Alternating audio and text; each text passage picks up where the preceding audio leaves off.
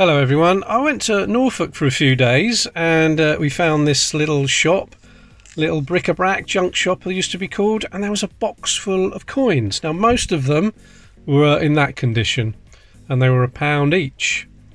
So I bought this one, 1868, even though it's pretty bad. They are, it's a harder date to come by, so I thought I'll have that. And this one was in there as well. So I said to the guy, Yep, I'll take those two, please. And he looked at me and said, Sorry, I can't let you have that one for a pound. That should not have been in the box. I thought, oh, Fair enough. So I said, um, um, How much do you want for that? And he said, Oh, five pounds. So I snapped his hand off at that one. In fact, if it said 25, I'd have still bought it. Look at that. Let's have a closer look. As you can see, it's an 1874 Victorian penny. Now, there's a few different varieties for the 1874. Some have got an H mint mark for Heaton, and this one hasn't. You can see this is a plain one. This would have been minted in London, Tower Hill in London.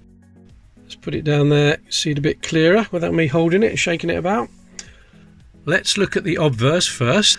There are three different obverses you can get for an 1874 London minted penny, and they are obverse 6, 7, and 8.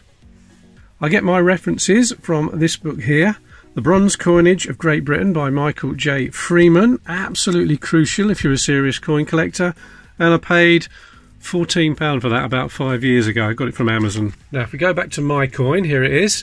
I can see straight away that it must be an obverse 6 because if we zoom into the brooch, the rose brooch on Victoria's dress, you can see all of it.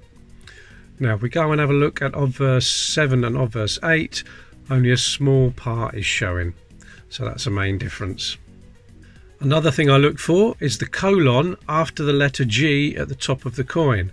Now the bottom dot of the colon is almost touching Victoria's head and that's on obverse 6. But if we look at obverse 7 and obverse 8 we see there's a clear gap. Now let's go back to my coin and we can see the colon is almost touching Victoria's head. So I'm 100% convinced now that this one is an obverse 6. Okay, apart from the brooch, let's have a look at some other differences. Uh, obverse 7 was known as the aged head. They tried to make Victoria a little bit older looking. She was in her mid 50s by 1874. So they've made the face a little bit fatter and the neck obviously thicker. You can see those differences. But between obverse 7 and obverse 8, oh, it's very subtle indeed. I think they've even made her look younger again. Maybe Victoria didn't like this portrait. Uh, main differences here that I look for the nose here in obverse 7 a little bit pointy, and this here between the nose and the mouth is a bit straight. But if we go over to obverse 8, the nose has been rounded off, and this here almost like a curved area. Uh, the ribbons is another thing to look for. The ribbons are thinner in 7 and quite a bit thicker in obverse 8. So it's pretty definite. I've got an obverse 6, but what about the reverse? Let's see how many possibilities we've got there. So let's go back to Freeman's. I know I've got an obverse 6. We can rule out the ones with the H below the date because we know it's not a Heaton mint mark. So that gives us two options, reverse G or reverse H. And there they are. Now, if you did have the H mint mark, it would be right at the bottom below the date between the 8 and the 7. Now, these images are from uncirculated coins, just so you get a really good view of the designs. And while we're talking about designs, the designer of both the obverse and the reverse on these pennies was Leonard Charles Wyon. He was born in the grounds of the Royal Mint I don't mean he was born on the lawn or anything like that. There were houses in the grounds of the Royal Mint, and his father, William Wyon, was also a Royal Mint engraver. Okay, let's have a look at some differences between reverse G and reverse H. Let's have a look at Britannia's head. She's got quite a thick neck in reverse G, and her mouth is closed. We come over to reverse H. The neck is much longer and thinner, and Britannia's mouth is slightly open there. Different face altogether. But the easiest thing for me when I'm looking at these coins is the lighthouse. So let's go down there and look at the lighthouse. See the masonry, see the brickwork is easily to see, very easy to see. And there's kind of a, like a, a ball structure right on the top of the lighthouse. Uh, the lighthouse is quite thick as well. Let's go over to H. Look at that.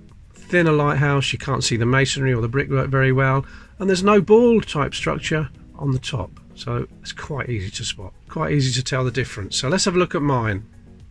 And on my coin, Britannia's neck is long and thin, and her mouth is slightly open. And the lighthouse is quite thin, you can't see the masonry, and there's no ball structure on the top. So this must be a reverse H. Okay, let's go to eBay, type in 1874 penny. Now we need to go to sold items because we want to know what the uh, penny actually sold for and not what people are asking. That's a completely different thing. So let's click on sold items. Okay, one there straight away, £250, but I can see that's an H mint mark, so that's not one we've got. American penny there. £75 there, H mint mark again. Uh, what's this? Oh no, that's reverse G, so we've got an H. And there's one there, £59. That looks like a obverse 6 because we can see the whole brooch, can we? Yep, we can. So let's have a look at the reverse. Uh, no, there's the lighthouse with the ball on top and thick neck. So that's not it. I tried a few more on eBay, no luck. Come over to London Coins because this is where you get some nice auction prices. It tells you the results. £420 that one. So we got a Freeman 67, dies 6 and H. We've got 6 and H. So I think we need to go and have a quick look at Freeman's catalogue number 67, 6 and H. So yeah, that's definitely the right coin. But it is in uncirculated condition, isn't it? That's a problem and mine isn't quite as good as that.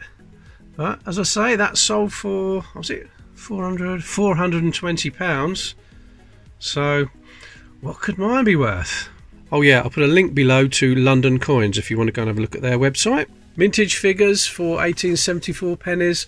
Probably going by estimate there. They go by the weight and work it out from there the Heaton Mint, 6.7 million, but we haven't got that one. We've got the Royal Mint one, which is 5.6 million. But that would include all the different varieties. So what about the variety I found? We know it's a obverse 6 and a reverse H. So that's catalogue number 67. And Freeman say it's a rarity R12. If we look at Freeman's rarity index, R12, 1001 to 2000. Now that doesn't mean that's how many were minted.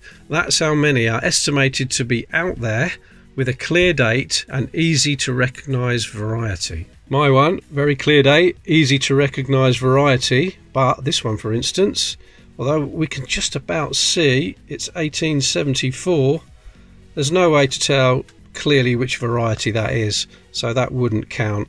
That wouldn't be in the index. Okay, what can I get for this? I'm going to say this is in very fine condition, probably not quite extremely fine. And I'm going to say between 60 to 80 pounds.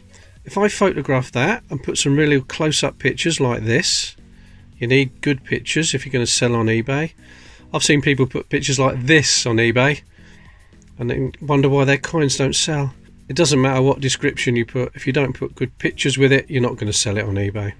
So that's my prediction between 60 and 80 pounds for a 5 pound buy. That's not bad, is it? That's quite a good markup.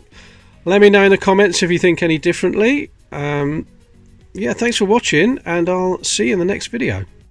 Oh, and please subscribe to the channel if you haven't already. I'd appreciate that no end. See you in the next one.